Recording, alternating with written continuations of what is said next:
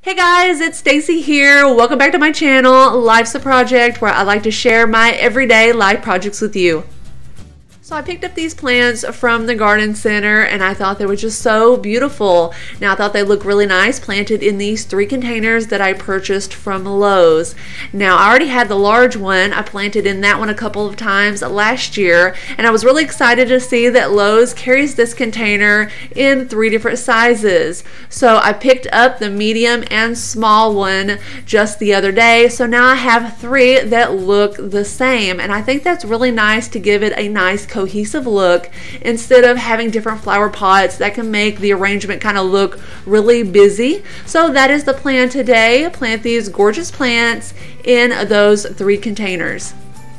So what do I have here for you? The first plant is rosemary and I just love the look and texture, the color of rosemary. It's beautiful upright growth of the foliage and it is an herb so you can kind of snip some off use it to cook with in your kitchen as a spice and it does grow pretty large but you can keep it prune down.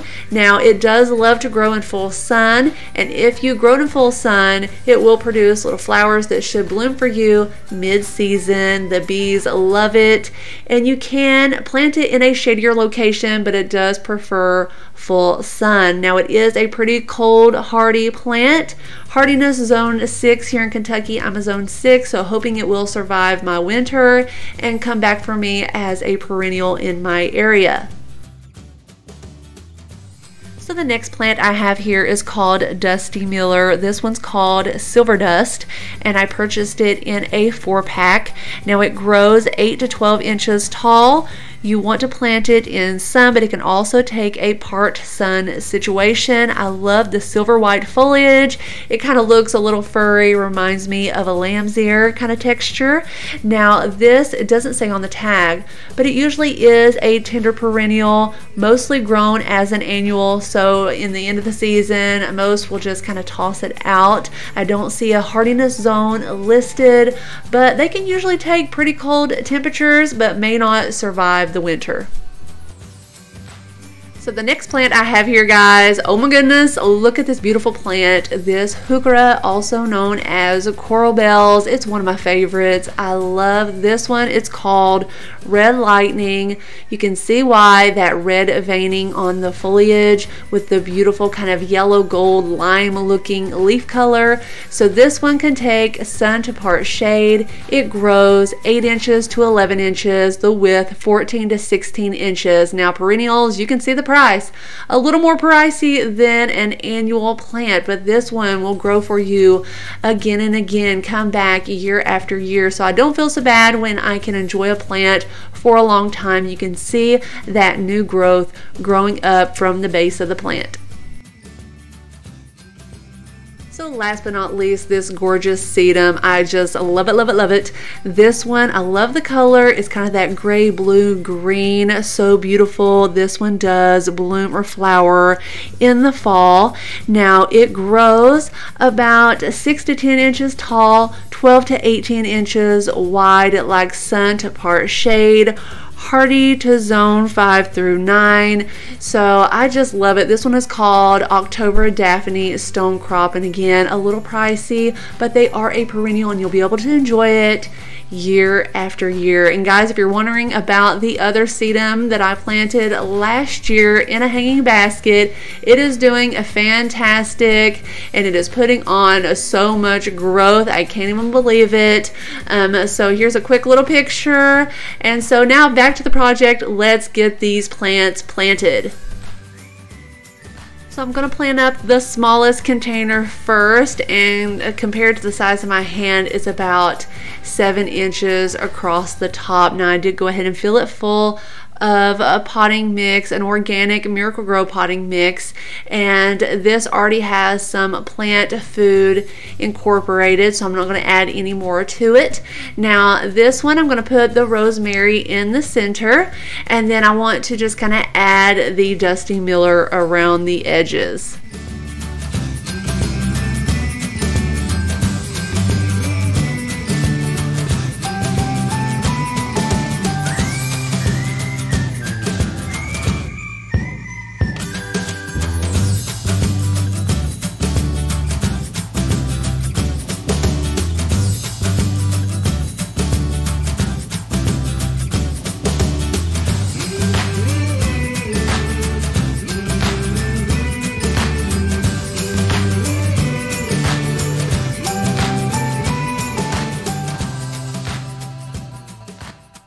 So the first container is completed. I think it looks really good.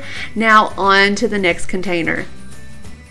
So the next container you can see is the middle size container. Now I could plant the sedum, but I think I'm gonna go with planting the heuchera instead. I think just because it has less growth right now, it'll look really funny, uh, the heuchera being small but in the largest container. So I'm gonna go with this one.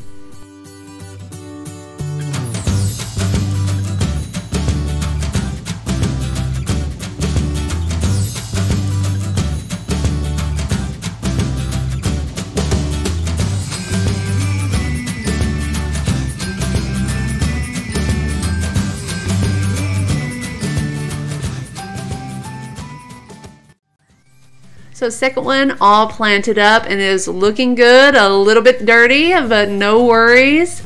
So I'm happy with it. Now on to the last and final container. So the third container, the largest container, and is a little dirty, so I will have to wipe all of the containers down when I'm finished. Now I want to plant the sedum in this one right in the center. I'll just push back the soil in this container to make room for the root ball.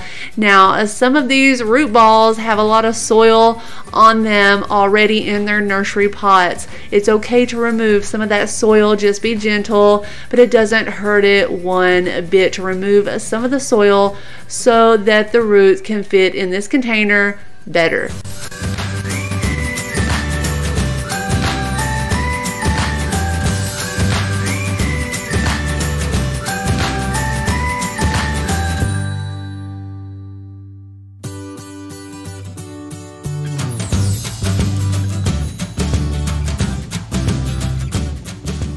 Guys, here they are all planted up. Just look at these beauties. I think they look gorgeous. So these plants, I think they all look really great together, even though they are, you know, very different. I think that choosing matching containers, I'm just really glad that I did because I think it takes your focus to the plants. You really notice the plants, not so much the containers. So I'm really happy with that choice. Now, all of these plants are a perennial type of plant or can take the colder temperatures of early spring and fall. So these containers should look good all season long and it's kind of a bonus that some may come back the next year. And all of these should be very low maintenance and easy to care for. Just kind of water them and let them grow. And uh, these should start to fill in especially the heuchera you know it should fill in pretty quickly and really cover that soil so you're not seeing that soil showing um, and look really good so I hope to give you an update later on in the season when these are looking fantastic and have filled in some. So make sure you are subscribed to my channel so you don't miss out on any update videos or future videos that I put out. And guys, you can go to my channel and click the notifications to be notified when I release a new video so you don't miss that. And you can also follow me on Instagram as well as Pinterest. So guys, I hope you're having a very wonderful day and I thank you so much for watching, and I will see you in the next one. Bye.